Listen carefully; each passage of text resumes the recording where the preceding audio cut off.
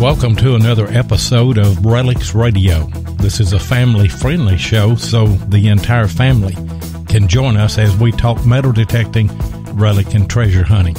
You can also call into the show at 270 495 0315 or join in the chat and post any questions or comments you might have.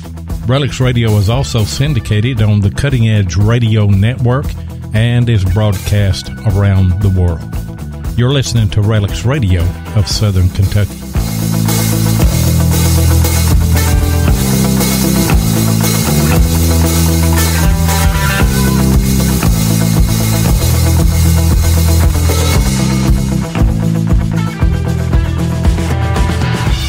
And you are listening to another episode of Relics Radio. I've been running around here like a chicken with my head cut off, and I sure am glad to see some people jumping in the chat because I didn't even know if we were live.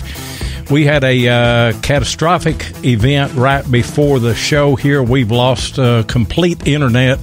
I'm running the uh, show computer off of um, my phone and uh, off off of a phone, and uh, then I'm also going to link in our guest on uh, on Skype on my phone, so their audio quality might not be as good. But we're going to get through this show. We've never missed a show uh, in the almost three years that we have uh, been running this, and I sure didn't want to do it tonight.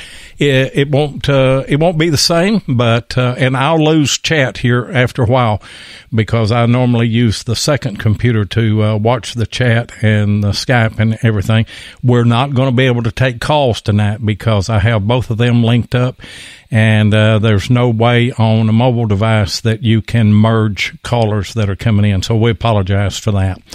But you know what? We uh, we're very lucky here in uh, Southern Kentucky, and uh, my family is very lucky as well. As most of you know, there was a major uh, tornado outbreak. A tornado set down at Nashville. It went through Mount Juliet, where my daughter lives, and it went through Cook- Cookeville, uh, covering Davidson County, Wilson County, and Putnam County. Fifty mile long path the nation's most intense in three years. And right now, there are 25 confirmed dead, and uh, we still have uh, people that are missing. And that came very close to my daughter's house, and uh, she actually called me. This this is the third time that uh, they've gone through a tornado, and she has called and stayed on the phone uh, with her and her family through the event. And uh, you know, as as a parent, I cannot tell you how hard that that is to be an hour and a half away from uh, one of your children. And uh, I could hear the television in the background said it's now it's just now coming to Highway 109, and that's where they live. And then she said our power is off, and I don't know it. Uh, you know uh, a lot of thankful prayers and everything that uh, they made it through. We have people that we know that were not as lucky. And so uh, we're lucky tonight, and I can't complain over this. And by the way, too, uh, we reach out to everybody that has the coronavirus. Uh, there's a case now in Tennessee, in Williamson County, around Franklin, Tennessee, and I'm sure that this thing is going to spread. And so we are just, uh, you know, our hearts go out, our thoughts and prayers go out to everybody that will be be affected either by the tornadoes or this coronavirus or whatever. But anyway, uh, I want to welcome everybody uh, tonight uh, on Spreaker that are listening live. We want to welcome our syndicated listeners on the Cutting Edge Radio Network, and we want to welcome everyone that will be picking up the archive. No matter where you get your podcast, we will be there. We are worldwide, and so we want to welcome them as well. And without further ado, I want to get into tonight's show. Uh, we have Jenny and Steve of Trip and Dive. Hey guys, welcome to this makeshift radio show. Hello, we're happy to be here. yeah. I'm I'm very very happy to have uh, have both of you, and been real excited over this show. And then right, you know, just uh, as I told you guys, just uh, an hour before uh, everything went down, and I just been scrambling around. But we'll get through it. We're optimistic, aren't we? That's right. Steve, the show must go on. Yeah, yeah, there is, and uh, you know it, it, could really be a lot worse. Uh, by the way, guys, I've got their uh, YouTube link in the description. Uh, Trip and Dive. I also have their Facebook, uh, but if you just put Trip in Dive, in uh, your Google search or whatever engine that you use to search with, you're going to find them, and uh, you're going to be impressed. I think with what they do. I was, and so I reached out to them. Uh, and Steve, I'm, I'm going to start with you tonight. Why don't you just tell us how you got into all of this uh, scuba diving and everything? What prompted you to do that? started scuba diving about five years ago, and I I just got the bug. And um, my brother-in-law certified me, and he has he has a post that he works. And, and I just I moved up the ranks with him. I'm a dive master. We help certify other um, people. We, we help a lot of youth get certified that normally wouldn't do it. And, I, and it's just it's something that I love. Being underwater, it's, it's a meditative thing for me. So just you know, you can all you hear is your bubbles and just breathing in and out and, and seeing just the beautiful beautiful reefs and, and the animals that are under under the water. It's just it's just awesome. And so I really wanted my whole family to get into it. So I you know, started with my wife and got all the kids certified and so every every year we, we try and do some sort of a dive trip where we're we're going out as a family and and Jenny had a great idea as as we're going on. She's like, let's let's start making some fun with this. And so that's where the idea of treasure hunting came around. So we started figuring out how to hide treasures, either underwater or on hikes in different areas, and you know, just just kind of bring people along with us and have fun. So that's really kind of where it all started from. And I just I, I, I could live underwater if, if it were possible. I, I, love it. I could too. It's just uh, the weightlessness is uh, is what just amazes me. I mean, it's it's the closest thing that I will ever come to to being in outer space because you're just absolutely yeah. weightless and and everything is so tranquil. So, Jenny, I guess it's Steve's fault that you're a scuba diver, right? Uh, totally. I don't think I would have chosen to do scuba diving if it weren't for him. Are you glad that you did uh, now, though? Yeah, it took me quite a while because even snorkeling, I was a little bit claustrophobic. Um, I I hate tasting salt water. So even my first time snorkeling, I think we were in Hawaii and we were out there. We got past the wave, and so it was kind of calm. But I swallowed some water because when you're snorkeling, that sometimes you know, when it comes down the tube.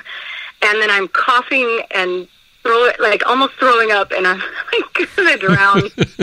so like I it took me so long to even get used to snorkeling. So when he presented the idea of we need to get scuba certified and and I'm pretty adventurous anyway, so I was I just thought, you know what, okay, I'll try it and so I even though it's scary, I thought, you know what, I'm just gonna do it. And I think the scariest part of scuba diving was getting certified because you have to take off your goggles underwater and then put them back on and blow the water out. Right. And I think that was terrifying to me. But once I was over that, I think it, it took a couple scuba trips to where we were diving three or four t- um, times a day. I think it was in Cozumel a couple years ago, and we were we were doing three to four dives a day. By the fourth day, I finally got to where I was like, okay, I get it. Because before I was just on the heels of a scuba master who would take us, our, our guide. Yeah. And I would just be breathing, reminding myself to breathe, and be like, okay, there's only 30 minutes left. okay, there's only 20 minutes left. I would just survive the dive.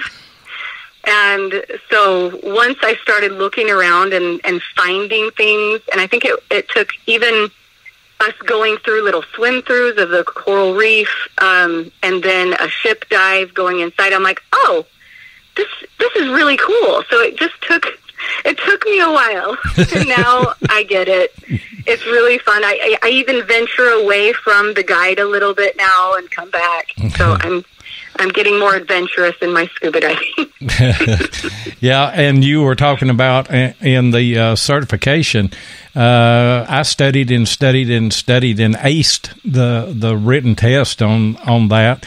And uh, you know the thing that really bothered me as well was you know uh, taking your mask off and clearing it, and taking your having your regulator taken out of your mouth, and and then do the lean thing and stretch your arm out and bring your regulator back. Oh, yeah. and, but uh, I practiced all of that uh, and uh, prior to going for the certification and felt you know relatively confident in everything. And uh, then we got down. Uh, we did ours in Nashville, and uh, got down there. And the guy said, "Well, the first thing is going to be a swim test." And I said, "What do you mean a swim test?" And he said, "Yeah, you got to you got to swim. Uh, I think it was 200 yards." I said, "I don't know if I can swim 200 yards or not." He said, "Well, if you can't, you can't dive, you know." And he said, "I don't care how you do it."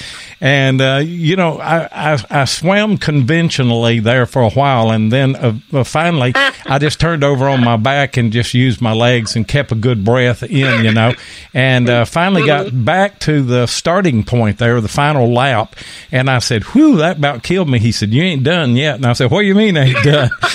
he said, uh, "He said now you got to tread water for 15 minutes," and and he said, "I don't care how Yeah. you do that," so I just laid back and floated on it. So yeah, there's a lot of stuff, but but you know once you once you get it done and then you get up under the water, it's just a completely different world, uh, completely, isn't it? Yeah. Yeah. You mentioned something about um, it's the closest thing to being an astronaut. Right. I think that was when it clicked for me. We were doing a night dive in, in Cozumel, and and we were just you know with flashlights. You couldn't see anything but what what your lights on, and it really felt like I was in space. It really so that reminded me of that. It is like floating in space. It's Yeah. kind of cool. Yeah, and it's uh, you know I'm a little heavier than I would like to be, and uh, since since uh, I had to do the swim test, I came back home and I'm uh, a member of the wellness center here. And three times a week, I am I'm swimming a mile uh, a day, so Oh, three days a week. So uh, I could go back and ace the swim test now, you know. But I, I was I, I was out of shape, but just just the weightlessness of all that. But you guys, uh, the thing that that really impressed me is that, and Jenny, I think that this was your idea. You put a different twist on the family dives, didn't you? Yes. In what way do you mean? Well, I mean the the treasure part of it. Was that your idea to do that? Yes, because Steve was wanting to document all of our um, diving, and there's so many videos out there, and it's nice to give um, referrals to places and, and try different places and, and give your feedback. And I I like adventure and just making it a little bit more fun. So I thought kind of like the geocaching to where you give directions and then you take the whatever's inside the treasure box and leave it. And as far as we could tell, there wasn't anything like that underwater. And so we decided that we would do that. But because it's hard to get a coordinate in the ocean underwater, we just have put like landmarks or um, different kinds of clues. And then we always have like a guide with us that knows that when we um, schedule to go do the dive, we have a guide with us, and so they know where it is. So we can send people to that company, the guide that will help them find it too. But we have pretty good directions if you were to go and find it. And the other part is since we don't, we live in the desert and we're not like super close to an ocean, so um, we try to travel a few times a year to go do dives. But in the meantime, we have a lot of hikes around where we live and in the state we live, and and so when we can't go diving, we've also done like gone and hide hidden treasures on hikes around just Arizona or um, Utah, wherever we're we are visiting. Right. So it's kind of fun just to find different places to to do it. Yeah. Uh, and I want to talk to you about some of those uh, spots because I watched uh, literally all of you guys' videos and uh, was really impressed. I want to talk about each one of them and what I liked about them and, and get you uh, get you to elaborate elaborate a little bit more. But first, we need to run a commercial and we'll be right back. I'm excited to announce that Tim Henderson of Murray Branch Outdoors has rejoined Relics Radio as a sponsor. As a multi line dealer, Tim carries several brands of detectors and accessories, and he's ready to serve all of your metal detecting needs. I'll give you his contact info in a minute. So, why did Relics Radio go back to Tim Henderson as our dealer sponsor? Three very important reasons. First, I often hunt with Tim, so I know firsthand that he uses what he sells and he prides himself with great customer service and support. Second, Tim goes the extra mile in helping the new detectorist determine exactly what they need to get started. He will not try and sell you some high priced product if that's not what you need. And at the same time, Tim can serve the seasoned detectorist with their upgrades or new product questions. And finally, Tim won't leave you hanging after the sale. He's just a phone call away for any questions or specialized training needs. So, you can call Tim directly at 615 948 4611 or you can email him at tjhenderson at comcast.net. And as most of you know, Tim is uh, a very good friend of mine and a fellow diver uh, with me as well. And we're looking forward to uh, summer coming along and getting in Dale Hollow, which is a reservoir, and there are towns that are underwater there. And uh, we've done a lot of mapping, and we're just ready to go and uh, and I see that Tim said hello. I'm just in the house, so uh, welcome Tim. We just ran your commercial, and there are about 500 people waiting to buy a metal detector from you. But we've got Jenny and Steve on the line of uh, Trip and Dive. And uh, the one that really, really impressed me is the Lake Pleasant uh, dive that you did. and uh, do you know? Do you know why it impressed me? Can you guess? The skeletons. The skeletons. The skeletons. There and and you guys tell tell the listeners what what we're talking about. All right. So Lake Pleasant is um, it, it's a fairly clear lake here in Arizona, and that's where a lot of um, certifications happen. Um, and so a lot of divers after they've gotten certified, they've gone back and they, they put little mementos in that area, and so it's kind of built into an, an area where a lot of divers like to go back, see what's new, what's there. Um, but someone, I'm not sure who it was, but um, there's a card table down under the water. Depending on the time of the year, it's either at about 60 feet or it's about 40 feet. And there's four fake skeletons sitting around the table, and they're playing cards. And so it's, it's just a, it's a cool navigation thing when you're when you're um, certifying new divers. We'll go down there and, and we'll do a compass course, and we'll navigate to the the skeletons and then come back. And so it's cool for for new divers to see. Some of them get, a little nervous, wide eyed when when they see it, but it's a very very fun dive. There's always something new. There's grandfather clock down there. There's just different things, and there's actually someone put a statue of Jason Voorhees from Friday the Thirteenth down there, and the lake the lake wanted them to pull it back out, and someone went and moved it. So when they went back to get it, it's gone. And so now the the, the story is you got to go find him. He's somewhere in the lake. So people keep moving him around. So someday someone will just stumble upon Jason. Good. And I hope it's not me. yeah, I hope it's not me either. And uh, you Yeah. guys, you guys did uh, you, you did a Halloween special on that, which was perfect. You know, uh, perfect timing on that. Uh, But the, but you did two videos on that, and the first one the the water clarity is not that not that good, but the second Yeah. one is absolutely perfect. And uh, y- you know Yeah. you, you see all the guys, and then you you put the uh, conversation blimps on the screen there where they're all talking about uh, playing. That was my idea because Steve had about I don't know how many minutes of footage of the skeletons. I'm like, okay, I'm gonna get bored after like ten seconds. so I'm like, okay, I'm gonna start making a conversation between the skeletons. yeah. There's some conversation bubbles. Yeah. And, and the clarity, so during the summer, the algae blooms in our lakes here in Arizona, and so that's where you see that it's not cold, so you can dive without a wetsuit, but but it's it's probably you know maybe five feet visibility, very green. But during the winter, you, you got to wear a seven mil wetsuit, but you can see you know 30, 35 feet. So that was that difference between those two videos you could see.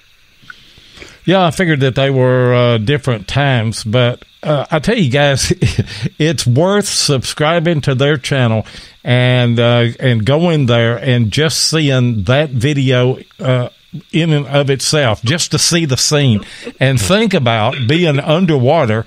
And uh, Jenny mentioned being claustrophobic a while ago, and you, you know, uh, I I was detecting back in the summer underwater, and I, I got to noticing that every time that I fanned the water or fanned the bottom there, that uh, bait fish would come in, and, and I realized that I was stirring up food that they like to eat, and they were just all around me, you know.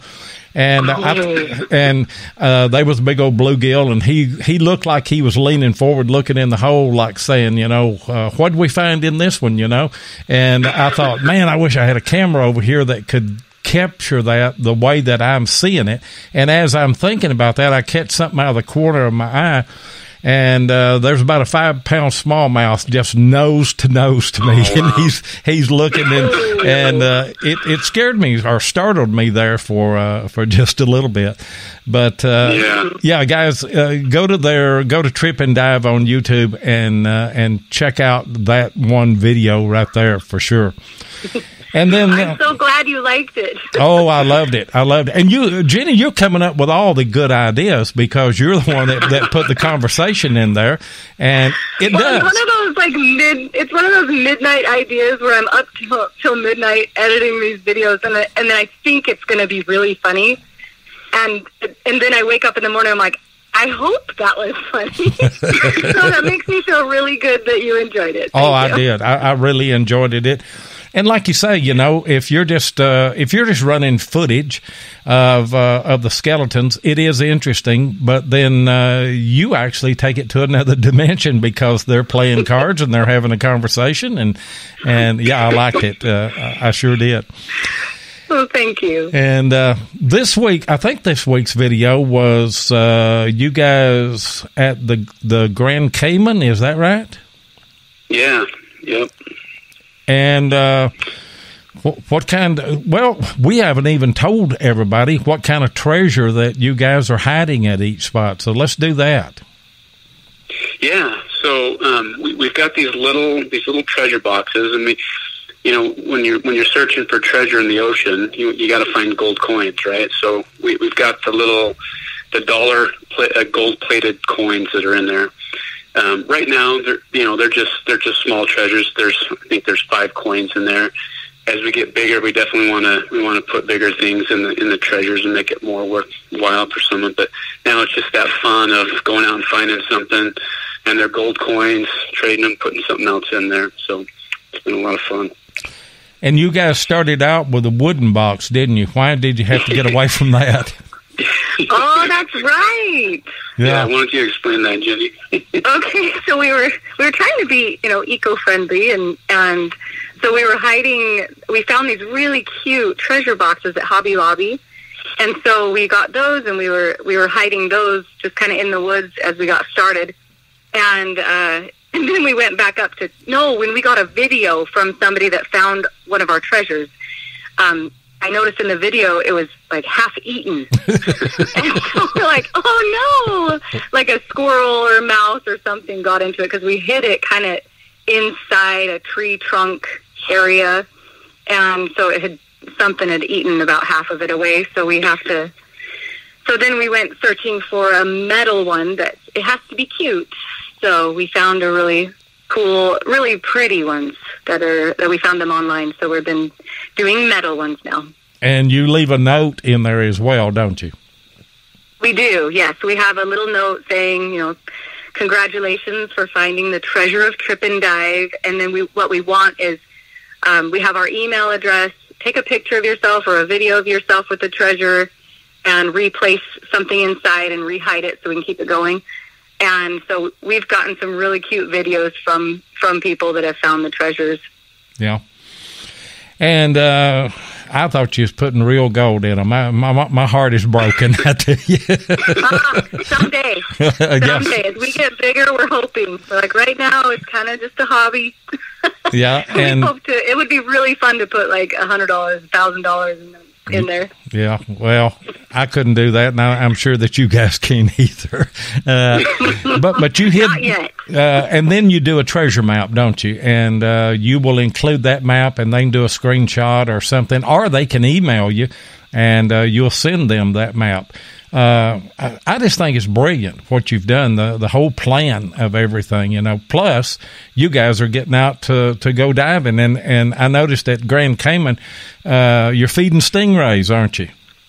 yeah, yeah, that was that was an amazing experience. If, if anyone ever gets a chance to go to Stingray City, just to to interact with them, and you know, in in a, in a safe environment that's safe for the stingrays and safe for for us as well. It's just it was amazing. It was a great experience. Yeah, and uh, what was the uh, what was? Did y'all see a shark there as well?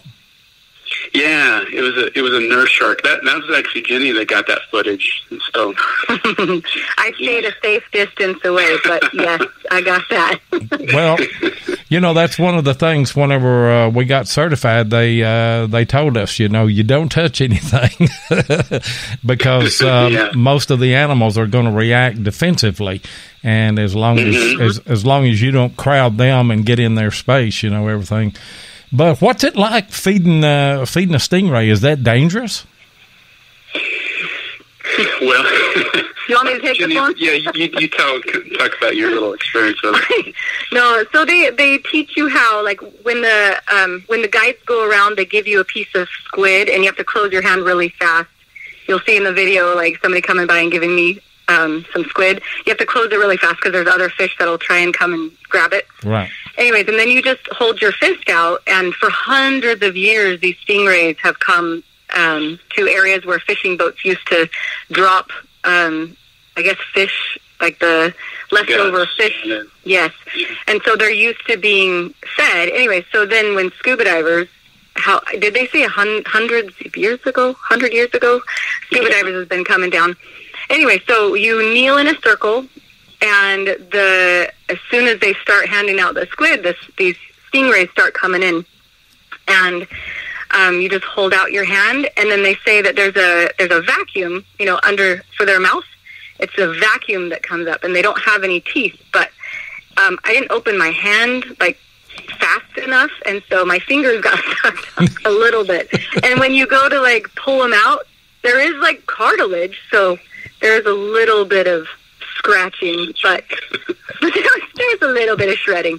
Yeah, not I, bad. I had, I had one of the stingrays grab on the back of my shoulder. it was just kind of sucking on my shoulder, and, and it just feels like a little pinch, but not too dangerous. Yeah, it's not dangerous. It just was. A, it was more scary than anything. But like, oh, just. But I, but I will, I will throw out though. You know, it's we were in a safe environment with the divers who were experienced.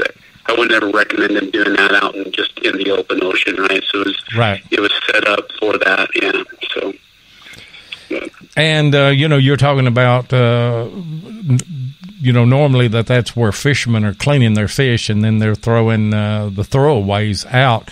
Uh, we go to. Go, in fact, I'm leaving uh, Friday night. We're going. Uh, we're going down to Florida, and then we're going over to uh, Gulf Shores. My wife is actually uh, in the Bahamas right now on a cruise with our middle daughter. Oh! And so uh, after they get back from their two week quarantine, I hope not. I'm knocking on wood right oh, now yeah. that they don't that somebody doesn't isn't infected on that boat, but anyway, when we fish at Gulf Shores on the pier there, people do that, and uh, you can really catch a lot of stingrays, but you can catch a lot of sharks too because yeah, yeah. Yeah, yeah, in fact, hammerhead sharks come into that same area where we were feeding the stingrays, and we were we were hoping to see a few, but we, we didn't see any that day. But they do come in as well because they've been they've been trained to come in there and, and, and eat on that food as well. Yeah. Well, I'll just say one thing, Jenny. It's a good thing that that wasn't your first dive, getting bit by a stingray and seeing sharks. oh my god! that would have just yeah, about. I probably wouldn't have touched the water. yeah, that would have just about done you in. Hey guys, we're up to another commercial break right now, and we'll be right back in two minutes. You know, t shirts are a perfect way to get your brand recognized, whether you're talking about a business, a club, a sports team, your YouTube channel, or whatever. But you may have asked, where can I get quality, affordable shirts on demand? Well, I'm glad you asked. Relics Radio uses DetectTees.com for all of our t shirts, long sleeve shirts, and hoodies. That's D E T E C T E E S dot com. Ken and Mark Guthrie make quality shirts that last, they ship quick, and best of all, they're affordable. So if you need customized apparel, then go to detectees.com and be sure and tell them that Relics Radio sent you. And I tell you what, Ken and Mark Guthrie, good friends of mine down in Tennessee as well. I hope that everybody fared well down that way uh, with those guys. But yeah, if you need uh, t-shirts, if you want hoodies, if you want cooling towels, you can get your Relics Radio apparel there, and uh, they they furnish a lot of other people. In fact, uh, TripNdive uh, folks here, they need to reach out to uh, uh, detectees.com, D E T E C T E E S.com. And uh, they'll make shirts on demand and they'll get your brand going, I tell you. And uh, we're talking with uh, Jenny and Steve of TripNdive. Uh, they're out of Arizona, but they do a lot of water stuff. And I believe that last week's video that you had uh, really showed the whole family doing a lot more than just diving, right? In Jamaica? Yeah. Oh, that's right. Yeah, that was a lot of fun. Yeah, so that was that was one of our when we're on a surface interval, right? No diving there, but we had a lot of fun zip lining. Um, we went to a place called Heaven Sent, and if you're ever in Jamaica, that was that was awesome. It's just an adrenaline rush, just the, the, the three different zip lines that they do, and just a, a great fun. Um, but then, and then also that Dun, Dunn's River Falls. So that's where we ended up hiding the treasure. Was was there, and um, just a great experience. Fun to get out with the family and explore and have fun. You know, one thing that I was going to ask as I watched that, uh, of course, everybody, uh, everybody that listens to the show and all of them on, on, the chat here, they they've always said that I was 150 year old, but uh, I had a birthday back in December, so now I'm 151, and I don't I don't know that I could climb that waterfall. It looked uh, is the footing pretty good? Yeah, it was. They, they they do tell you to stay away. Was it the Black Rocks? I think it was the Black Rocks. I, I slipped one time, but climbing up up the waterfall, it, it always felt pretty safe. I didn't, you have good water shoes. And yeah. they have a guide with you. If you have a big group, they'll send you with a guide, and he'll actually tell you exactly where to step. So you can you can do it really carefully, and and the guides were great, um, just keeping us all safe. Yeah. So that well, was a fun one. Uh, and I'm sorry to be distracted. I was trying to load the next uh, the next commercial here, and it's not going to load. Oh, okay. obviously, because I don't have the internet. It's American Digger magazine. I'll just go ahead and say that now. That uh, check out American Digger magazine. I'm part of that crew. I am the producer of that show, and I'm the co-host on it. And uh, we have a show every Monday night. And if you're not getting American Digger magazine, it is the premier metal detecting and treasure hunting magazine in the world. They've got the print version, and then they've also got the uh, uh, they've got the digital version that no matter where you live, you can get it. But then something really special happened at the bottom of that waterfall, didn't it? For your family. Yeah. Yes, that's right. How, I was just working on this for hours. I'm like, what happened? Yes, my niece got engaged. So we were on a cruise and um, we had a few different spots we were stopping, and it was so cute. So the uh, my niece's husband now, but he was all week really nervous trying to figure out the best place to propose, and she had no idea. And so we got word that it was going to be in Jamaica somewhere. And then when we hit the falls, we start here, you know, getting the whispers back, like, okay, it's going to be here, it's going to be here. And so Steve turned on his camera, and um, and she was totally unexpecting. She wasn't expecting it at all. So that was really really cool to see that happen and get that on video. It was It, cute. it was. Yeah. And it was it was funny to watch Logan's face. I mean, he, we're all having so much fun. There's a beautiful waterfall, and he just looks like he, he just saw a ghost. He's just white, trying to figure out what he's going to do. It was awesome. Yeah, yeah. And uh, also, uh, Man Plus River. That's uh, that's Dallas, isn't it? Is his name? Yeah. He is. Yeah. Uh, is he your cousin? Yes, he's my cousin. So we're my mom and his mom are sisters. So that's how that. Of course, everybody knows Man Plus River. He has a phenomenal uh, YouTube channel. Yeah. And uh, you guys, Yeah. you guys went down to Texas and and did a couple of videos with him, didn't you? Yeah, we did. Yeah, and Dallas Dallas is awesome. He used to live here in Arizona, and I've, I've been out on a few of his dives here, metal detecting underwater and finding stuff. And um, he's he's been the one that's been pushing Jenny and I to really. You guys should start. You should start getting and you know pushing us with ideas. And he's just been awesome. And so um, when we got the opportunity to go out to meet him, it was just it was it was pretty cool. So that was a, a very fun trip, and that's where it really got us into the metal detecting underwater, which I, I've always loved to find stuff out in places, but um, but to actually have your your metal detector it going off, you pull out a phone, you pull out some glasses. It's just an amazing feeling. So that was that was a great one. and pull out some sunglasses too, right, Jenny? yes, yes. Oh my gosh.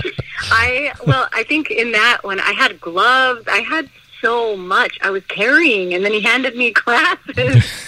so not very smart. And I uh, lost them. I lost them. and just to let our listeners know, uh, she had a couple of uh, pair of sunglasses, and when she got back to shore, she had dropped those. But then you guys, uh, you guys rebounded the next day, didn't you? How many pairs did you find the next day? Oh, we found a lot the next day. Did you find like five, six, Steve? Yeah, I even found. Did I find one or two? I think Uh, I found some. Yeah, I think you found. I found one or two. Yeah, sure did. yeah. And uh, how cold was it there? Uh, it uh, you guys looked like that you were froze to death, especially the first day.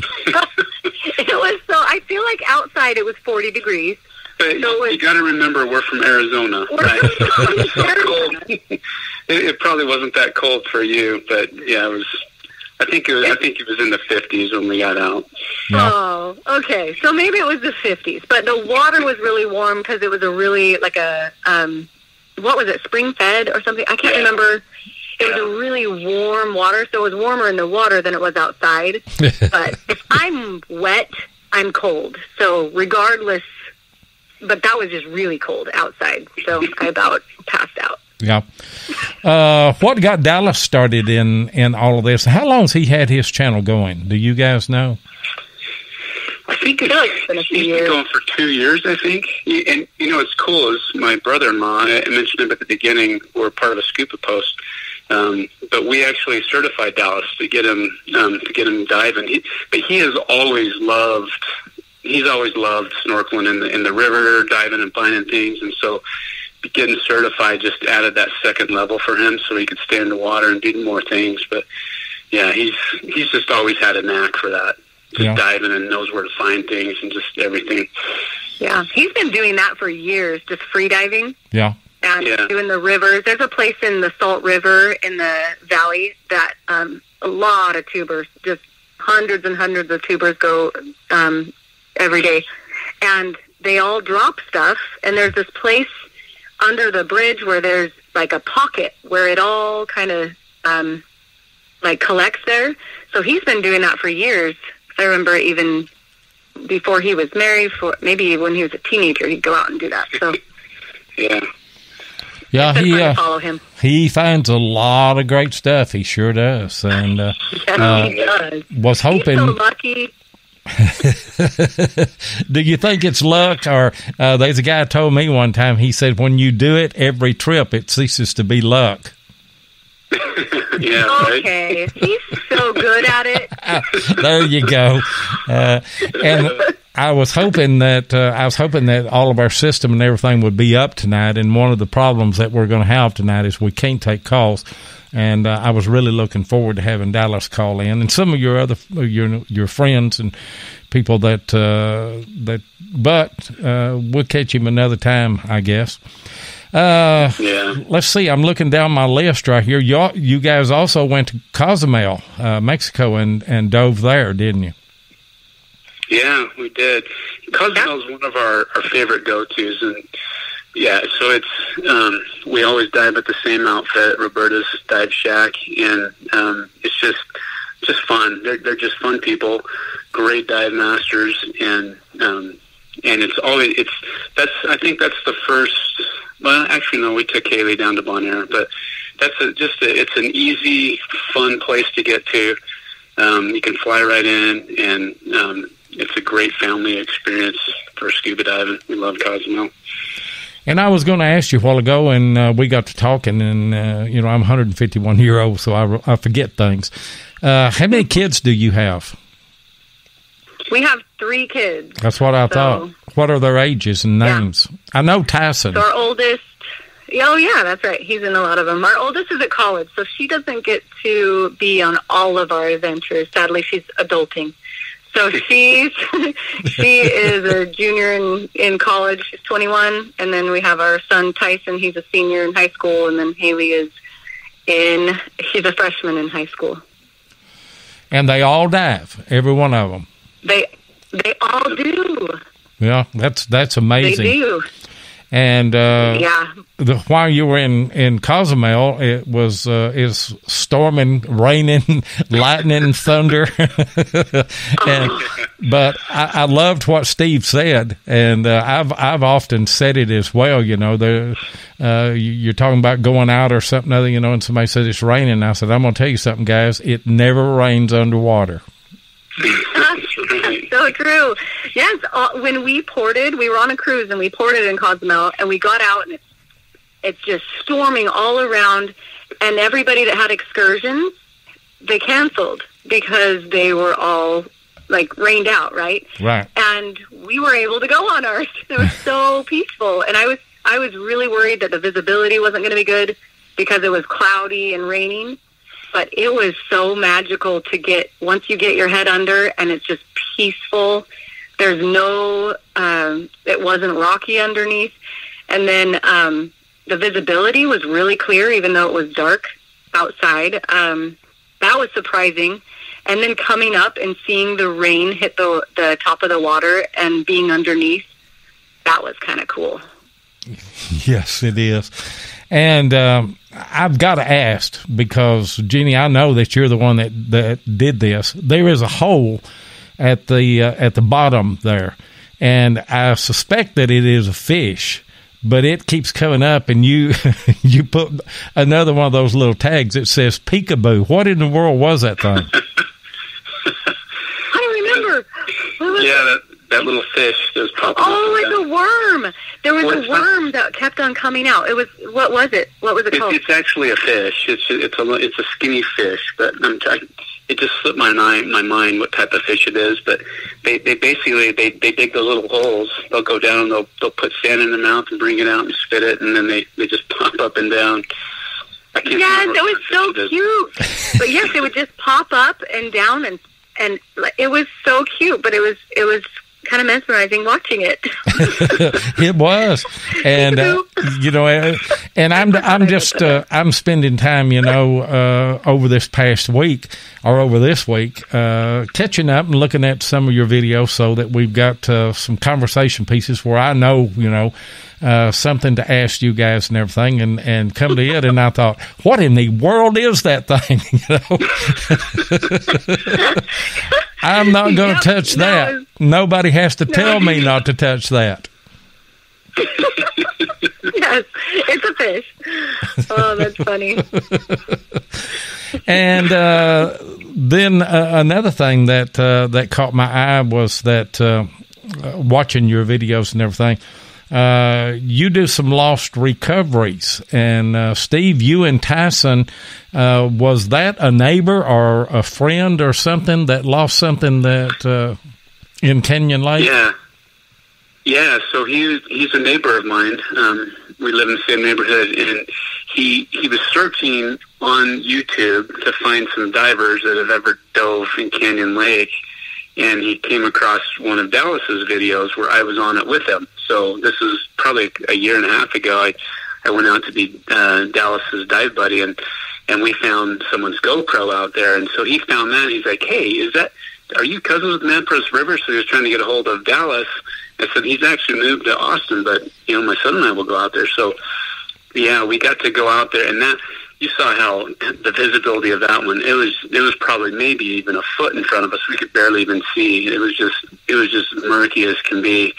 But we just we uh, we stuck together. So Tyson and I were just kind of arm's length, you know, so we could see each other. But we just we kind of did a search pattern back and forth where he he was out there with us and he kind of pointed in an area where he thought he dropped it we searched for a good 20 minutes, and I was just like, man, we're not going to find anything. And right as we're getting ready to go up, Tyson just reaches over and he and he finds the bag. It was that was just the coolest feeling in the world. And the phone was still on. It was just it was cool. just a fun, yeah. It, it was amazing, and uh, you know, uh, I just uh, recently. Well, we had uh, we had the guy from the Ring Finders, that organization. We had him on as a guest on uh, well, first of all, on American Digger magazine show, and then I had him over on this show here, and uh, actually joined the Ring Finders. Now I haven't done anything yet, but I'm looking uh, because we've got our houseboat is on Dale Hollow Lake, and it's it's a really clear lake,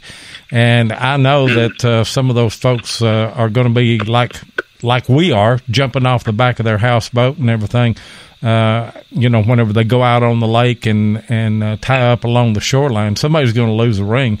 So uh, yeah. you know, I'm looking forward to uh, to doing that. But how amazing is it? And, and what's the feeling like whenever you find something that somebody's lost? It still works, and you're able to put it right back in their hand. Oh yeah, that that is just the coolest feeling, and and people are so appreciative. They they want to give you the world. I'm like, no, it's we have fun doing this, and it's just I mean, to be able to bring something back to someone that they thought was lost forever, they, yeah, you can't make that up. It's just a, it's just a good feeling, you know. And there's there's a video that Jenny and I are working on right now that we found a girl's um, phone, and I'll just I'll just throw this out there. It was underwater for a long time, so you have to watch the video to find out how long it was underwater, and it still worked. But we were able to get it back to her, and it's just it's that's going to be our next video coming out. But it was just it's just the just a cool feeling, you know, and especially when you when you talk to people and and they tell you the story and they tell you how bad they felt when it happened, and then and then to see their excitement that you, that they've got it back. It's just it's it's a cool feeling. And also in that video, you tell uh, the story of how that phone was lost. And uh, why don't you tell all the yeah. listeners about that? Yeah, so he was he was there. In fact, it, so it had only been underwater for a couple days. They were out on I think it was Saturday that they were out, and they were kayaking. He had put his phone in a, in a Ziploc bag, so it wasn't it wasn't in an airtight or anything like that, watertight, but it was in a Ziploc bag.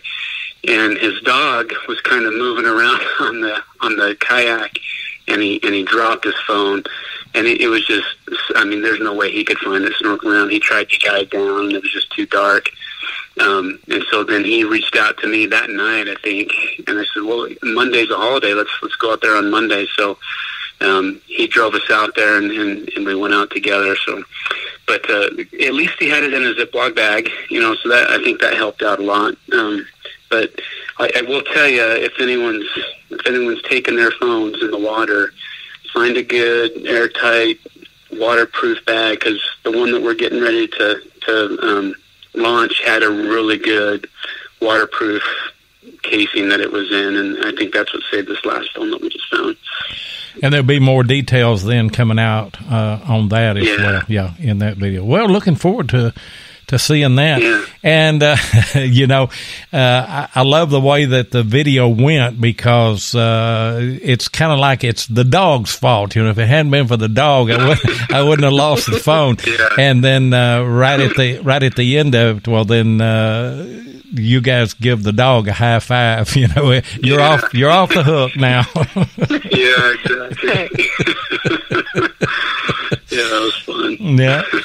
And then uh, another video was uh, Catalina Island. Uh, I think you just have no. You you got two on that as well, don't you?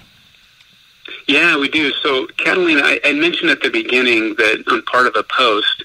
We actually certify youth, so boys and girls from the ages of 14 to 18 and then every summer we take them out on a on a trip. So it's kind of a high adventure trip for them, gets them out and we we do a live aboard. And so I go over to Catalina quite often, um, usually every June, uh, end of June, July time frame. And so I know the area very well. Um, and so I thought, you know, this would be fun, really fun to hide a couple treasures here because now whenever we bring these kids out, we're like, hey, go see if you can find this treasure. It'll be something to do while they're there and diving around. So um, that that was the motivation behind that, and um, and just you know, and while I was hiding them, I did I did challenge a few of the boys that we were with at that time to see if they could go find it, and they and they did, and it was it was exciting for them, you know. So it's it's it'll be fun when we get the next group out there this summer.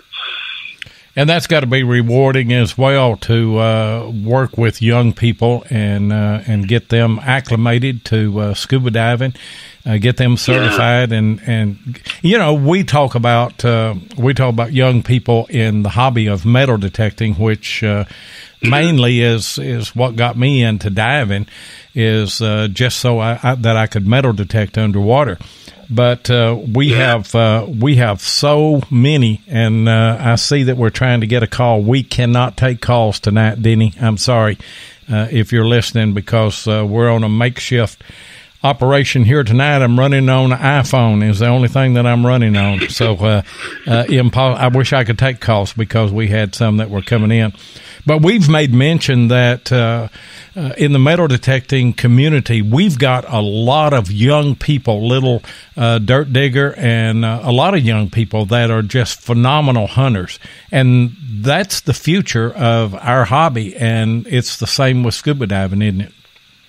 Yeah, yeah, and I'm I'm just fully getting into metal detecting now, and I I've always loved to go find stuff. Uh, when I was young, I was probably six years old. My dad took me out. We lived in um, a town in in Pima.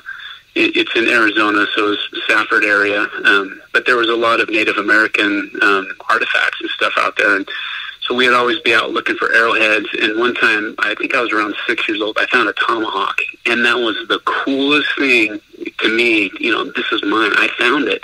And, you know, and it was just to, to go out and find things. So I, I think I got the bug a long time ago of going out and finding things. And so I've been, I've always been a big rock hounder with, with my kids, going around and finding Apache tears and amethysts and different things. And, and so now, um, you know, metal detecting underwater has really gotten me into that. So I, I'm gonna I'm gonna try and take that step up to the land too, and, and do some metal detecting on the land too. It'd be fun. Yeah.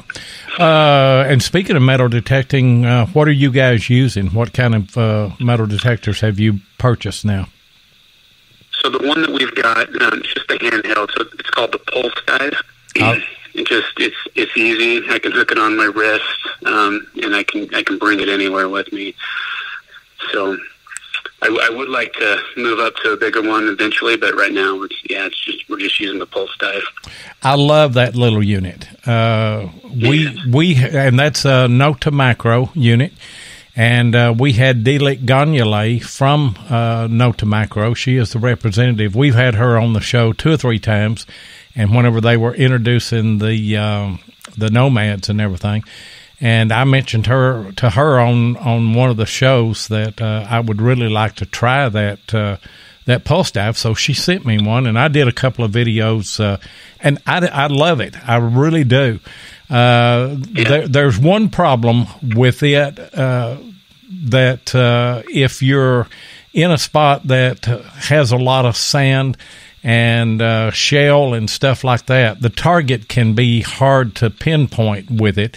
I don't have as much trouble as as some people that I've seen on video, so I just take a pin pointer with me as well. And if I get in that situation, I can I can just pull the pin pointer out. Now the the pulse dive is a detector or it is a pin pointer, but you can't you can't transition from one to the other underwater. So uh, uh, I just had uh, an extra. But yeah, I, I, I love that, and uh, it's got a uh, it's got a cord on it that uh, you can just clip to you, and after you get your signal, you can just kind of throw that thing in the water. It's not going to go anywhere. Just yeah. throw it around your side, you know. And uh, yeah, I, exactly. I noticed in the promos that you guys sent, uh, both of you had a pulse dive in your hand, right, Jenny? Yes, yes, I'm addicted too now. It was actually our trip to Texas with Dallas when he showed us because I that's the one I used of his, and I I don't know every time you, you hear that beep and you pull something up, I I caught the bug too. nothing nothing compares to it. Absolutely nothing compares. No because so uh, you you there's just an anticipation. I don't care if you're underwater or you're on land you know you're you're working the detector. And I, you know one thing that uh, that really struck me is first of all it's harder to grid underwater than it is on land. And uh, plus you don't have as much time underwater as you do on land. Uh, i went hunting uh, i guess it was day before yesterday uh, maybe yesterday. And uh, anyway uh, we hunted five hours. Well, it's pretty hard to do that, you know, underwater. Uh, because yeah. of the of the limitations of, of time and uh, and everything, you know, and uh, the stuff that you have to watch uh, about build up in your blood and everything. So, uh, uh, you know, the the nitrogen content and nitrogen everything. Bubbles. Yeah, and but I love it. And whether you're under the water or you're on land, you hear that beep there's anticipation. You have no idea what it's going to be, and uh, you know it's like Mel Fisher. Uh, his motto used to be "Today is the day," and I think that every day that I go out, today is the day that I'm going to find something so amazing. And uh, yeah. you know, it doesn't always happen, but uh, I love it, and I'm yeah. I'm as addicted to it as I can be. I've I've got the bug, and I've I've had it since 1975. Whenever I got my first oh, metal detector. You know, and even when you find something like you know that goes off, and and you dig down, it's a, a little tab. It's like, oh well, at least I'm cleaning up the river here. Yeah. So even when you find nothing, at least you're doing something productive and and then every once in a while, when you pull up something really cool, like sunglasses or somebody's phone, or you know, it makes it all. It just it's a bonus. So yeah. Yeah. I kind of go into it like that. And, and, and what's cool about it is with the metal detector, you can find something that's been hidden for years. You know, in, in this video that we're working on, I mean, this where I found this this girl's phone. We've we've been certifying people there for the for a long time and diving right over this spot. And then all of a sudden, now that I've got the pulse find, you know, I was able to to find it under the under the silt and stuff. And so it's just it's it's awesome. It just uh, um, there's something about that too to find something that's been hidden for a long time. It's like, oh, that's that's a, an extra an extra joy when you find that. yeah, and you guys can't see the chat, and I don't have time to really look at it much. But Nelson Salter said, "Did he say 1875?" No, I said 1975. that's just the way that they do me all the time, like that. Uh, but yeah, uh, you know, uh, you're able to. And let me tell you what I do on uh, on my videos. Now we hunt a lot of Civil War sites. Uh, we're lucky. We've got a lot of Civil War activity in our, our area. We also have some colonial sites where we can find flat buttons and Spanish silver. Uh, find a few large cents, not many of them, and but there are some great finds that we can find. But then we hunt a lot of turn of the century houses, and you may find, uh, you know, a silver Mercury or uh, a silver Roosevelt or a Washington quarter. Mm. uh, you know those are those are nice to find. But then uh, you find uh, maybe a suspender clip or an old hair barrette that was a long time back. What I started doing a couple of years ago was I started doing a history clip in just about every one of my videos, and I will take the simplest find. Uh, a lot of times now, sometimes you know you'll take you'll have a great find. Now, uh, a hunting buddy of mine he found a, a, Spanish silver that was a really rare one, and of course that's a good history clip that you do. But I've also done just. Uh, uh, hair barrettes and things like that, the Goody hair barrette, and just find the history of those old items, and it it makes the find oh, yeah. come alive, and it really makes it. Well, I tell you what it's like, Jenny. It's like you putting the conversation at the at the uh, skeleton crowd there. At the skeleton. Yes, yeah. I watched your video. It must have been. Did you post it yesterday? Uh, the, I, was it the buttons or the coins? Uh, mine comes out. Mine comes out on on. Up. Yeah, mine comes out on Tuesdays. And uh, yes, okay. Well, the one that you posted last, I watched that, and it was. I love the history portion that you're putting in there. Well, I was going to make a suggestion. Uh, you know, that's uh, that's not unique to me. Now, there are a lot of people that have watched my videos and they've started doing that, and then uh, I've had some of them on the show, and they would say, you know, I stole that idea from you. And I said, well, you know, I've seen other people do the same thing, but I was going to suggest that, uh, you know, that's another element of, of the video uh, idea is to bring in as much history as you can because I, that's what pushes every one of us to want to do what we do is to reach back and yeah. find out more about our past, right? Yeah. I love that. Yeah. Yeah, that's awesome. Yeah definitely. What is it? Uh, what uh, what all was involved in you getting able or getting to the point that you can certify divers? That was quite an ordeal, wasn't it? yeah. So so you first become an open water diver. Um, that, that's that first certification, so you can go dive in typically you're going to stay in a recreational dive um, limit of 60 feet. You don't want to go lower than that. Um, and then the next is you go to advanced diver. So an advanced diver, you're going to go down to 100 feet. You can go all the way to 130 feet in, in depth. But you're going to learn how to go down to a deeper, a deeper depth. And learn that you go through your air a lot faster. You learn that your mind starts to think a little bit differently. Colors change. Just you know, there's more pressure on you. Um, so you learn that. Then there's navigation dives that you learn how to do. Um, search and recovery dives. Those are always a lot of fun. In fact, on my on my advanced diver course, my brother-in-law and I were out at Lake Pleasant, and we were doing my search and recovery dive. And we came up for a surface interval, and a guy came up to us and said, "Hey, I was out here last week, and I lost my boat propeller." Do you guys think you could find it? like, yeah, let's do it. so he said it was right in this area. So we, we set a, a search pattern, and he and I we just did a U search pattern, and we went back and forth through this, and and I found I found the propeller. It was just so awesome. It was on my certification course, and I found it. So we got it back to him. He was he was very happy. Um, but so you do you do that. So you, you become an advanced diver for next, and then you go on and become a rescue diver and that's a really fun course because you, you do CPR training and all this, but you learn how to really help people in the water and do things. Um, but that that training course is a lot of fun. And then from um, rescue diver, um, we went on to dive master. So I'm a dive master now. I'm I'm actually looking at becoming a, an instructor as well. Um, but for the time being, I'm I'm just helping out as a dive master and having a lot of fun with it. Um, but then once you become an instructor, then of course now I can I can actually instruct people on my own. Now I have to instruct people with with a, with an instructor as well. So right. But uh, may I interject here? Yes. I just was thinking something. So I've had a lot of my friends that have um, gotten certified from my brother-in-law and Steve, and Steve seems to have a gift of calming people down because like a lot of people will say, if it weren't for Steve, I would have never been able to get through this certification.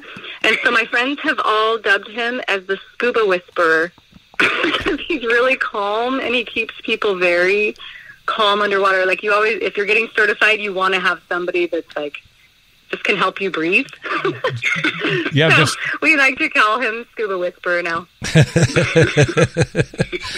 well, that's uh, that's a good quality to have, and uh, you know. Uh, and you most of the time you get yourself in trouble whenever you you're not calm because when you're not calm you're not thinking straight and you're not trying to solve a problem the problem overwhelms you and uh, uh, you know if you can a lot of times if you can just calm down and uh, and deal mm-hmm. with the situation. It's not as bad as as what you thought, but that's not only true in scuba diving. That's life, isn't it?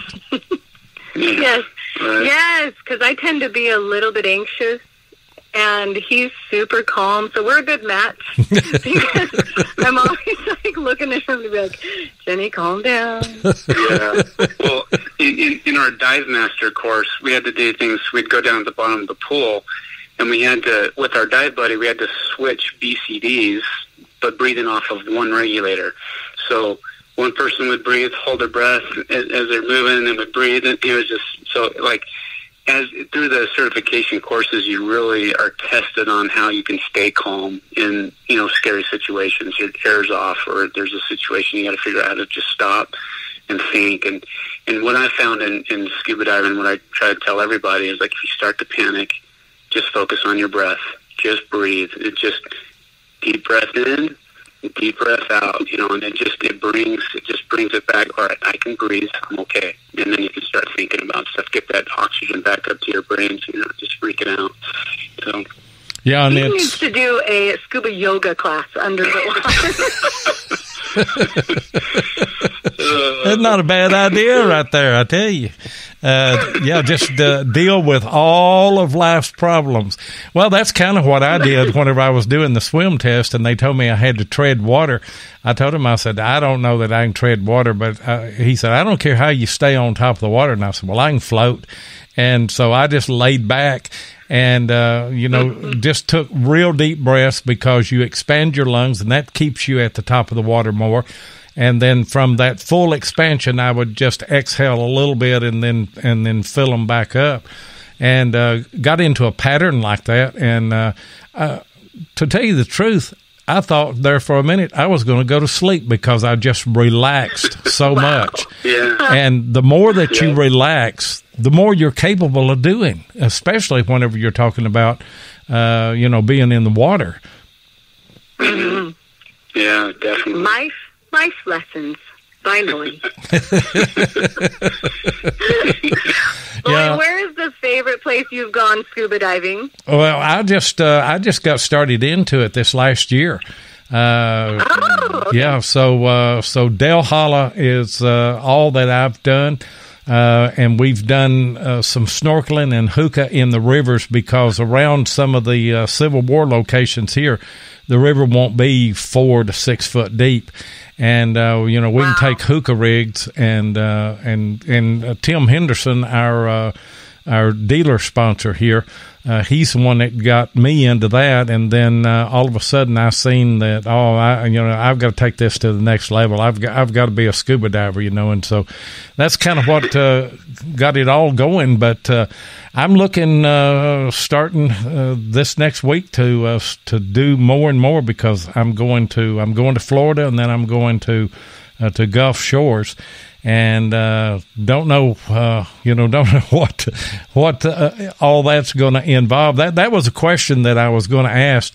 Is uh, if you're you know if you're in like 60 i looked today and the water temperature was 61 degrees and the thickest suit that i've got is a five mil is that enough to swim in uh, 61 degree water um, you, yes, I mean you will start to get cold though, but it, it'll definitely take the edge off for you. Um, seven seven mil would be ideal, but um, five mil will, will certainly work for that. Yeah, and then so uh, we were last last or two Saturdays ago. We were out at Lake Pleasant. And it was fifty three degrees, and I had a seven mil wetsuit. Um, I got a little cold by the end, but um, I was able to survive that with a seven mil at 53. So if you're 61 with a five mil, you should, you should be all right. Yeah. Uh, you don't use a dry suit any? No, I would like to get one. I I, I haven't invested yet, um, but um, someday I will. Yeah. Yeah, and I, I just I've had to sneak around over the last year, get, getting all my stuff together, you know, uh, to kind of yeah. keep my wife from knowing how much money that I've spent. And I hope she's not on the cruise listening to the show right now. But I told her, I told somebody last week, I said my biggest fear is is that I'm going to die, and then my wife is going to sell all my stuff for what I told her I paid for it. yes, Steve has a whole closet dedicated to scuba gear it's a, whole, whole closet. okay, it's a whole room, and you've got all BCDs for us, wetsuits, anything you I'm like, what is yeah, this hobby? It's very expensive. The family, the family doesn't have to worry about anything. I've got it all set for them. I've got all their everything's separated by everyone's name and everything. So yeah, whether we need it or not. Yeah, whether you need it or. But uh, you know, the good thing about you is that you've got the whole family involved in it, and so uh, yeah. there's there's not a lot of argument. Uh, what kind of uh, regulators are you guys using? You know, we use. Um, I I personally have a Cressi, um, and it works really good. But we we use a lot of Sherwoods as well in our training certification classes with people, and those work well. Um, but yeah, the the ones that that I've got for me and my family, they're Cressi is the brand. Yeah. Uh, I've got a Cressi, and then I've also got uh, how do you, I think you say it, Maris. Uh, I've got uh, yeah, Mars. yeah. yeah. I've got that, and then I've got a Cressi BCD, and then I got a Sherwood BCD that is uh, a back okay. inflate. And I really like mm-hmm. it because it, it planes you out in the water, puts you horizontal real easy. And uh, it's oh, an, yeah. and it's an integrated suit as well. My other one, I have to uh, I have to wear a weight belt with it. But uh, yeah. one thing that uh, that I've worked on this week is is uh, getting the right amount of weight with a wetsuit on because uh, you know if you go in without a wetsuit and then you put a wetsuit on you're more buoyant there and you've got to put on more weight. Uh, is there a formula there that the percentage wise as far as the mil number of a suit? There is and it's slipping my mind right now but because um, usually it all it, it varies by people just some people are a little bit more nervous and they're holding their breath, and so they they float more too. And so I've just always kind of so I typically someone that's 200 to 250. Um, I'm gonna I'm gonna put them in if they're in a seven mil wetsuit. I'm gonna give them 20 pounds of weight. It's just kind of a rule that, that's been easy for me and, and it works pretty well. Someone my my weight, so you know between 100 and 170 and 190 ish, um, about 16 pounds if they're in a seven mil wetsuit. But if I don't have a wetsuit on at all, I can go with just um, eight pounds. Yeah, I'm fine. So so it, it's it, when I put a seven mil wetsuit on, I, I double my weight. Yeah, that I've been using. Well, that's not going to be the case with everybody, though. It, it depends on your weight, and it depends on uh, your breathing uh, style. The way you said, you know, it depends on a lot of things. Yeah. So I guess there's no hard and fast formula for figuring it out. Uh, I've got mine with my wetsuits uh, to where you know I'm pretty neutral and feel real comfortable with. Uh, of course, when you get out of uh, fresh water and you get into salt water, it's completely different, isn't it? yeah, exactly. Yeah. Anything, uh, anything else that uh, that we failed to cover? The, that uh, what's on the horizon for you guys? Yeah, um, you know, no one has found any of our treasures underwater yet. The only treasures that have been found are ones that are out on hikes, and so um, we're we're hoping for someone to find one and, and get a video from one of our underwater treasures. That'll be really exciting for us. Um, mm-hmm but uh, we this next week we're going out to Maui, so it's spring break here, and we're taking the family out to Maui. So we're gonna we're gonna we're gonna try and do both. We're gonna hide some treasures, but we're also gonna we're taking the pulse dive, and we've uh, been uh, studying out some waterfalls and cliffs where people jump, and so we're gonna go down and see if we can find some stuff as well. So we're we're looking forward to that trip. Um, last week we also hid one that'll be coming out. We hid one in Puerto Vallarta. We were there. Yeah, true. Steve and I. So we're still we're going to keep on hiding them anytime we go places, and so it would be really cool to. It's it's just awesome to get back videos when people find it. So if, if we can get some ones that are found underwater, that'd be even better. Yeah, yeah. I, I imagine so. And uh, you know, like I said, that that's really what turned me on to you guys. I, I watched it, watched uh, one or two of your videos, and I was really impressed with uh, with what you did. And I immediately knew I wanted to have you on the show, and uh, and reached out to you because it's something that interests me. You know, it, it, it probably doesn't interest all of our listeners, but we kind of want to break it up and uh, have as much variety as we can and uh, I just thought that you guys would be a, a good pick. Let me ask you, uh, Jenny, you do most of the video editing. What is your philosophy on that? Oh, well, I tell Steve to get it all in order for me first. so I do the fine editing. And right now I'm just using iMovie. I have a Mac, and so um, I know I'm really familiar with iMovie. So uh, it is interesting. Like I've made a lot of videos um, in the past, and it's interesting making videos and just doing the little fine tuning at how long it takes to edit a video. I know it. And I'm kind of a perfectionist, and so I it, I I still am surprised at how many hours I'll put in. But it helps me appreciate all the other videos out there that people put together, and and I love learning um, little tricks. Uh, anytime I get stuck and I want to figure out how to, you know, put speech bubbles in my video, and iMovie doesn't do that. Yeah. And so going on to YouTube, figuring out how people have been able to do that, and I'm learning a lot, and I really enjoy the fine editing process. And then, um, and then sometimes, you know how sometimes people will have music for their uh, underwater right. videos. And we found that some people don't prefer they they prefer to just hear no music and just the relaxing underwater the bubbles. So, um, you have a preference? I think we we put a little um, poll on one of our last videos. Like, do you prefer music or do you prefer to hear the natural water? Yeah. Well, what was the result of that? Uh-huh. I'm interested in hearing uh, the result of that poll. I need I need to go look. I just remembered. So we'll see. We'll see what the result was. Oh, you. I remember asking that, but. Yeah, you lucky person. You've got internet. You can just reach over and do something that I can't do tonight. oh man. Yeah.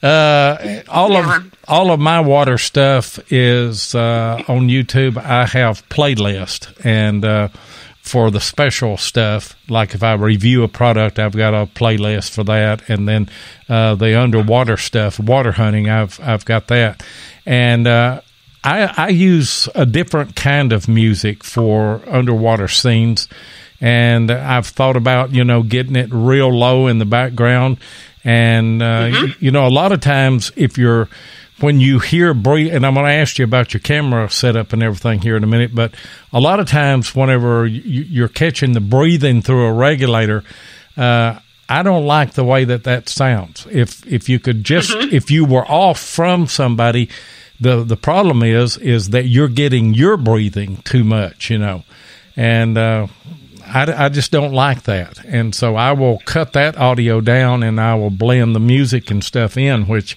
I like a whole lot better. Now, if I was 10 or 15 feet from you, I'm sure the bubbles coming out of your regulator would really sound good doing that. But, uh, you know, it, it, depends on the situation, I think. But what about. Uh, okay, I just looked it up. Okay. It said um, so far, it doesn't tell me how many people have voted, but so far it's 100% people say, yes, it's relaxing. I asked, do you like the natural underwater sound? Yes, it's relaxing, or no, I'd rather hear music. And 100% yes, it's relaxing. Interesting. it is interesting, and and I like. And you are a perfectionist, aren't you? I mean, you're trying to get down to the nitty gritty of all of it. what kind of uh, what kind of uh, cameras are you guys using to film underwater? Certainly not your iPhones. So no, yeah, right. Um, just GoPro. So I've got a GoPro 7 Black and a GoPro 5 Black. and I've got filters that I that I do. So if I'm in the ocean, uh, typically if it's the blue water, I've got a red filter. Um, when we were down in Puerto Vallarta last week, I used a purple filter because it's a little bit more greenish. But then, um, then when we bring it, pull it into iMovie, we just do the white balance. So that, so a lot of times the filter will pull it out just perfect, but sometimes there's still still a little bit off. And so if you do a, a white balance in iMovie, it, it pulls the colors out a little bit better. A friend of mine that does, uh, he does a lot of river hunting and uh, I've got I don't know I've got the uh, GoPro Hero I don't know what number it is a, a, five or a four or something, but the problem that that I had with it was whenever you had the case on it to go underwater, uh, the audio was so low on it, and uh, so yeah. he told me he said. I asked him what he was using because he'd go underwater, and then when he'd come out of the water, I mean, the audio was perfect underwater and out of water. And I said, What are you using? He said, He's using a GoPro Session. Uh, it's a very, very small GoPro, and that's all I'm using now. And it actually has two mics, a front mic and a back mic. And I use it on land and underwater as well. If it's windy, it will use the mic away from the wind. And, uh, I, you know, I, I think that I got mine on Amazon. I got a reconditioned one give about a hundred dollars for the thing. And uh, I am yeah. really, and you know, GoPro is not a sponsor of the show, but I would highly recommend that GoPro session. Okay, yeah, that's good to know. I, I've looked at that and I'm, I've thought about getting one. So to hear, because that does bother me too. Um, the sound when you're out of water with the casing, it's just it's muffled. Muffled. It is. Yeah, I don't love it. So and you know, I'll check that out. Water uh, or sound that is underwater. I mean, you can hear so much better. You can't tell where things are coming from, but you can hear so much better. Yeah. But then, whenever you come out of the water, uh, you know, it it just. Uh, I, well, I'd have to doctor the audio completely, and I mean, really run it up to uh, to get you know a good quality for a video, and you know. Uh, having a background in broadcasting, you know, I'm I'm a stickler for audio. I want it to be the very best that it can be, and uh, the session is a perfect uh, pick for that. I mean, it's perfect. That's awesome. So, do you have a, a waterproof casing for the session, or is it waterproof down to a certain certain level? It's waterproof itself, uh, and Okay. I I don't know how far down. Uh, I'd Yeah. have, I'd have to go back and look at that, but it's it's waterproof in itself, and it, it doesn't have a waterproof case. It's just uh, it's just uh, it's waterproof, and uh, the microphones are are right there, and it's got a little trap door, and you just pull your SD card out and charge it through that, and put it back in. I've had no trouble, and I've had mine almost a year now. Okay, great. Done. It's in the cart, Steve. Yeah. I wish my wife. excites me about something like that. I wish my wife would. So- I, yeah, I wish my wife would do that for me. I never know what to get Steve for his birthday because he is one of those that, like, if he wants something, he figures it out. He goes and searches it out and gets it. And so, like, oh, whenever I hear something that he doesn't have, so thank you, thank you for the birthday idea. yeah, there His you go. up. And and I didn't charge Yeah. you a dime for that either. Uh, not a dime. Uh, before you get off, uh, anything else that you guys want to add uh, that we haven't touched on that you thought that you might want to say tonight or share with the listeners? Um, trying to think if there's any place that would be really cool to hide a treasure. You can email us. Like if there's any hikes. We are kind of based west, but we love traveling. So Yeah. Well, there's a great place. Email us some ideas. uh, I'll just challenge. I'm going to challenge everybody to go to your YouTube channel and uh, subscribe. They've got 3.1 uh, k subs right now, 3,100 plus, and uh, they make great videos. They do a good job, and uh, you're going to enjoy it. Uh, you're not. They're not real long videos. They are exactly. Uh, the way they ought to be. They they keep your interest and uh, they are well put together. and you're just going to enjoy it. So go over there and sub them. As I said, it is in the description here. But you guys uh, and and uh, take Jenny's challenge. If you can think of somewhere to uh, to hide a treasure, then uh, reach out to them and, and tell them. Now, don't say uh, go put one in uh, in the Statue of Liberty's hand. You know, it's got to be legal. Yeah, be, it's got to be legal and it's got to be realistic. But it's just a wonderful idea, and um, you know. We throw these videos out there, and there's just a sea of people that are doing that, and you got to stand out some way. And I think that this really made you guys stand out. Well, thank you. Yes, we appreciate it, all the subs and, and support uh, so far. There's been so many positive um, supporters. I it's kind of scary putting a video out sometimes because you don't know if people are going to rip it apart or just. And so far, just all the comments are uh, have been so positive and and it's been encouraging to just keep going because you get to a point and you're like, why am I spending all this time on this? But but mostly it's so it's so fun for us, and so I want to keep we want to keep doing it. And it helps um, when we get a lot of encouragement. It helps us to keep on going. So thank you. We appreciate that. Oh, you're do- you're doing a, a, a fantastic job. Uh, I love your family. I love the whole situation that you have. I love your videos, and uh, uh, it's just a joy to watch it, and and uh, eventually you will have to transition, and and don't fall into the trap that we all on YouTube fall into, where you go to looking for numbers, and uh, the number of views and the number of subscribers, and oh, I wish I could have forty one thousand views on this. Uh, sometimes it'll happen, sometimes it won't happen, and don't worry about all that. Just do what you do, document it, put it out there, forget it, go to the next adventure. And uh, mm-hmm. you're you're documenting your life and what you're doing. One of these days, your kids are going to go back and look at that after you're gone. Your grandchildren, your great grandchildren, and uh, that's kind of my philosophy now. You know, uh, sometimes I find really good stuff, and sometimes I find nothing but junk. It doesn't matter. I try to do what I can do. Uh, you yeah. know, you can only put on there what uh, what you put on. But you guys are very fortunate. You go to some absolutely beautiful places to dive, and uh, throwing the whole hidden treasure thing in is just. Uh, I, I, I think it's a great idea. And Steve, you're married to a genius. Oh, I know, I know. I, I definitely married way up. no way. yeah, he keeps me grounded. See? otherwise, I'd be flying in the clouds. Yeah. Thank you for keeping me down. hey, hey, Steve. She uh, she went to the Amazon cart and put you in a uh, GoPro session. You're going to now have to go into the cart and and put her on an extra size uh, hood because her head just swelled up. hey guys, you're awesome. Uh, I, I really do appreciate uh, uh, Jenny and, and Steve, you guys coming on, and uh, you've been great guests. Uh, stay on the line. I'm going to close the show out, and uh, we will say our goodbyes. And uh, your the phone will still be hot, so if you don't mind, just be silent until until I close okay. it out, and then thank we, you for having us on. Okay, yeah, thank, thank you. This is great. Thank you so much. And by the way, I will share the show. You'll be able to hear the commercials and everything.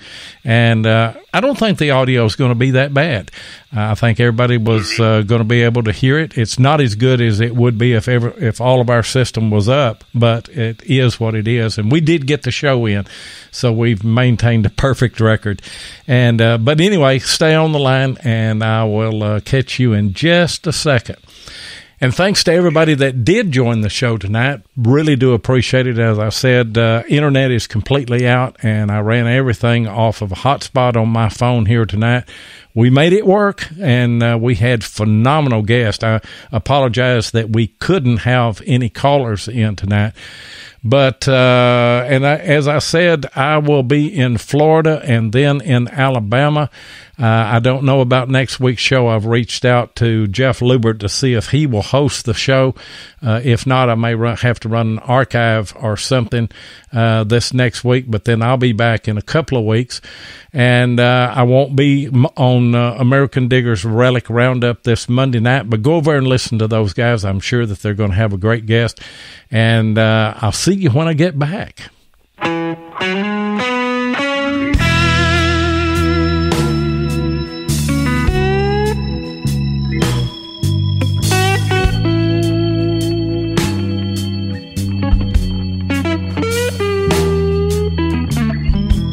Thank you so much for joining us tonight on Relics Radio. We really do appreciate it. Be sure and join us live every Thursday night at 8 o'clock Eastern here on Spreaker. Or you can catch the archive show at Relics Radio on Spreaker, iHeartRadio, iTunes, Apple Podcast, and many other podcast outlets. Relics Radio is also syndicated on the Cutting Edge Radio Network and is broadcast around the world. Please take a minute and hit the like button and be sure and follow us so that you get notifications of all of our upcoming broadcasts. Be sure and visit Diggin with Seven on YouTube and check out the Relics Radio Facebook group page. If you'd like to get in touch with us, then send an email to relicsradio at outlook.com. We'd love to hear from you. And we hope that you'll join us next Thursday night until then, get out there and dig some history.